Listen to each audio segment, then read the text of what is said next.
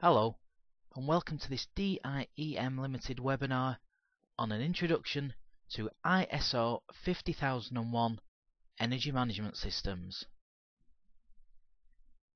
ISO 50001, published in 2011, is a standard published by ISO entitled Energy Management Systems Requirements with Guidance for Use.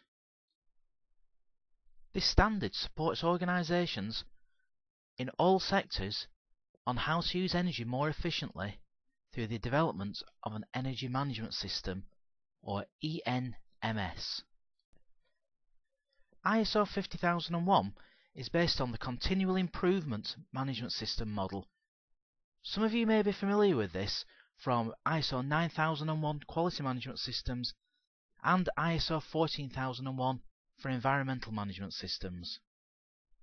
The main drivers for ISO 50001 are fuel prices, energy consumption, fuel supply, fuel security, which can be thought of as the continuation of our existing fuel supply, and climate change. For energy management under ISO 50001, there are four key areas, namely systems for managing energy,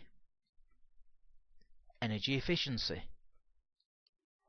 an improvement in energy performance, and energy management processes that are in place. We hope you found this basic introduction to ISO 50001 and energy management systems useful DIEM implements energy management systems to the 50001 standard in the UK and across the EU. So please get in touch should you want to give your business the environmental advantage and improve your energy management.